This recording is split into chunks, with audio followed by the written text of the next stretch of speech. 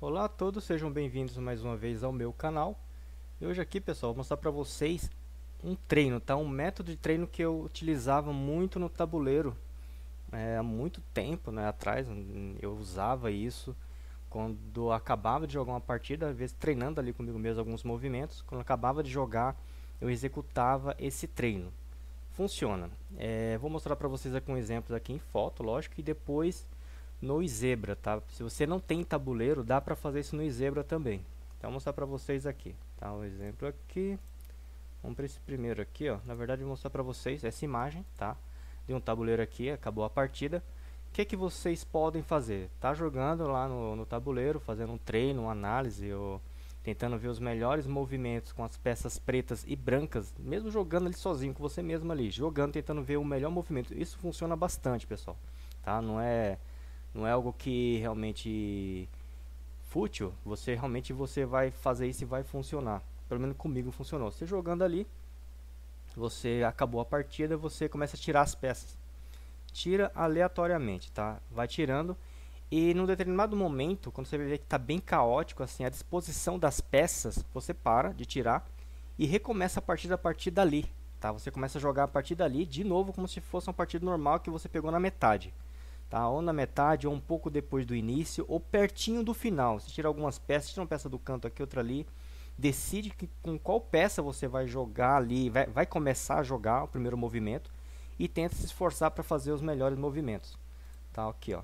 Talvez você tirando as peças, fique mais ou menos assim, de algumas vezes, pode ficar assim. Isso aqui você tirou quase todas as peças. Vamos supor que estava tirando tudo e ficou assim o tabuleiro, tá? Começa daí. Decida se você vai jogar com a vai começar a jogar com a peça preta ou a peça branca e comece tentando fazer os melhores movimentos, tá? É, isso vai aumentar a sua criatividade, vai te dar realmente visão de jogo ali, você vai começar a entender algumas coisas, algumas disposições e não só aquela coisa programada de início, meio e fim. Você vai pegar o jogo aqui na metade como se fosse o sistema shot do play ok, certo? Outro exemplo aqui, vamos supor que você deixa assim, tá? Começa, decide qual peça vai fazer o primeiro movimento e começa a jogar, tá?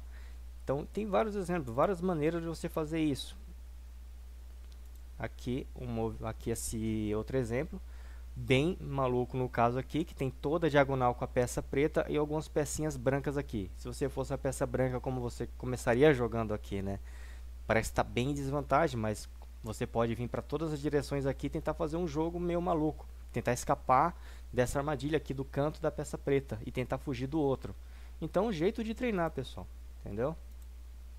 Aqui, não está o tabuleiro completo, mas começando daqui, você decide qual peça vai fazer o primeiro movimento e começa a jogar, tá? Então, vou voltar agora no exemplo, voltar mais aqui, esse exemplo aqui, o 2, né? Aqui, com a peça preta, onde você jogaria? Eu penso em jogar aqui, tá? Na G5. Mas você pode decidir jogar na G4. Com a peça branca, você jogaria onde?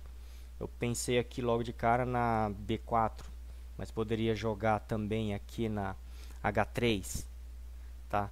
Poderia jogar aqui na E6, tá? Com a peça branca.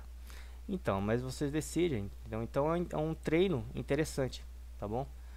Agora eu vou mostrar aqui no tabuleiro, tá no zebra aqui como ficaria. Vamos supor que está jogando a partida, tá? Você começou, eu peguei um um jogo aleatório, tá? Nem, nem lembro o que, que era, tá? Um, meu foco não é esse aqui, vocês vão ver a partida, tá? Talvez até uma partida que sirva aí de, de exemplo tático e estratégico para alguns de vocês. Foi uma partida bem jogada, com um bom endgame e você está jogando lá, ou treinando sozinho, ou até mesmo com o adversário lá, e você fala, não, agora vamos tirar as peças do tabuleiro, e a gente decide quem está com a peça branca ou preta aqui, a gente começa de novo da metade. Ou você pode estar tá sozinho também.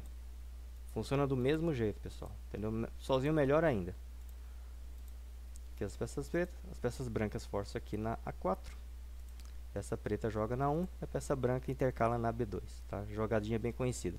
Talvez já sirva para alguém aí de esquema estratégico. Continuando a partida. Meu foco não é explicar isso aqui.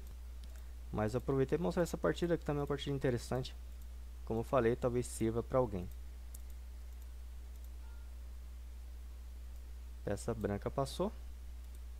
Peça preta joga na G7. Só tem agora a G5 para peça branca, no área par. Se você viu um vídeo de par e ímpar, você vai entender mais ou menos o que eu estou falando. Teoria do número par. E a peça preta finaliza ganhando por 47 a 17. E agora vamos supor que isso aqui é o tabuleiro e você vai fazer o que eu falei.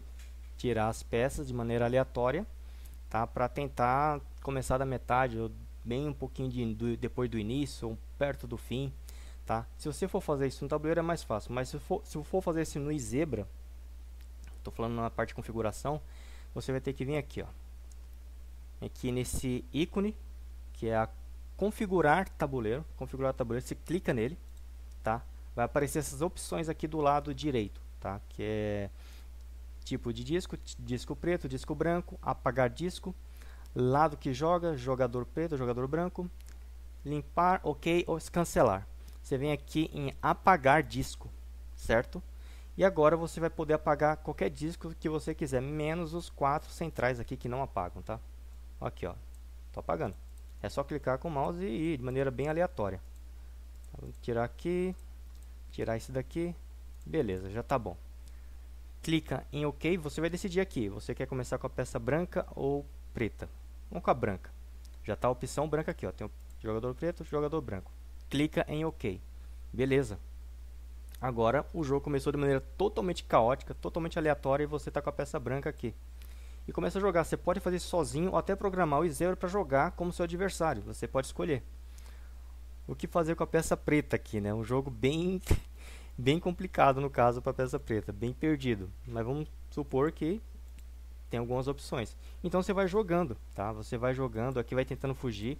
É, é um treino, entendeu? É um treino que você vai tentando ver o melhor aqui, ó. Já pegou aqui, ó. Peça branca, peça branca aqui. Passou de novo aqui. Passou. Aqui não. Uh, pra cá. Essa preta vem pra cá. Branca. Branca. Aqui. É, é um treino, tá vendo? E finalizou aqui. Branca 62 a 2. Ok, vamos de novo.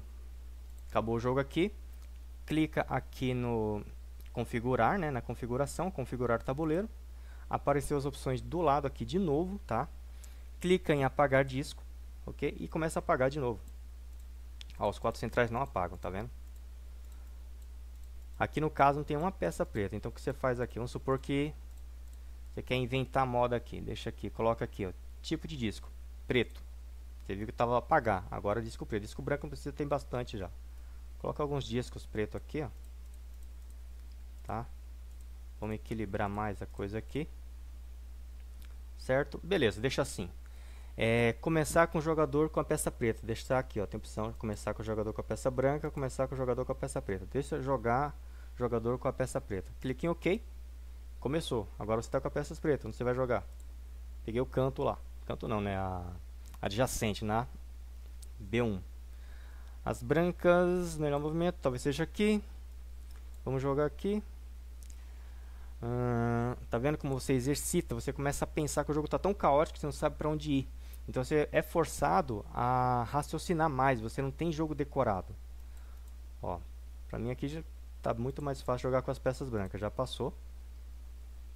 Ó, se eu jogar aqui, aqui não tem porta, não tem como a, vai ficar branca, mas a preta não pode vir de lá para cá, de cima para baixo, nem de baixo para cima. Aqui vai ficar branca e a peça preta não tem jogada nessa diagonal. Porém, essa ficando branca, a peça preta tem uma peça aqui e vai jogar aqui na E3. Olha isso. Tá vendo? Aqui não tem jogada a peça preta. Aqui não tem jogada. Aqui não tem. A culpa. Aqui não tem por aqui. Aqui só tem por aqui, como eu falei, com essa pecinha aqui preta na C5, que vai pegar essa peça aqui, ó, na E3, como eu tinha dito. Tá vendo? Você vai exercitando. Vamos ver onde eu jogo aqui. Hum, difícil, né? Vamos lá, jogando aqui. Peça preta joga aqui. Não foi o melhor movimento. Mas você vai finalizando. Outro treino. Mais uma vez. Vem aqui em configurar tabuleiro. Apagar disco. Tá? Apaga o disco. Eu vou deixar umas deixar uma peça preta aí, né? Vou inventar alguma coisa aqui. Ó, deixar aqui, ó. Tira esse canto daqui. Jogador com a peça branca, ó. Vou colocar um disco branco aqui, ó. Já para facilitar a peça preta pegar o canto ali. Começar com o jogador com a peça preta. Clique em OK. Beleza, jogador com a peça preta. Você vai jogar aqui, né. Pelo amor de Deus, vai perder logo o canto aqui logo de cara. Vamos lá, o que, que eu faço aqui? Vou primeiro intercalar aqui em cima. Jogo complicado ainda para as peças pretas, né? Uh, deixa eu ver aqui. Vem para baixo aqui. Estou fazendo um movimento totalmente errado ali, nem existe. Uh, aqui. Ok, deixou para essa região. Uh, vem para cá. Ó, vou pegar o canto agora. Peça branca intercala e a peça preta vem para cá. A branca passa. Só que o jogo está muito complicado para as peças pretas. Então não tem lá muito o que fazer, né? Vamos pegar o canto aqui, eu sei que vai intercalar, mas enfim. Pegou aqui e vem pra cá. Deixa eu ver se foi o melhor movimento. 38 a 26 para as brancas. 37 a 27 para as brancas. Melhor era na F1. Ok. Certo? Limpar isso daqui, ó. Reconfigurar.